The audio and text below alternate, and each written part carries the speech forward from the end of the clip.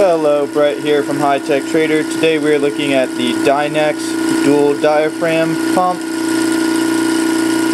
And she's currently on right now, working great.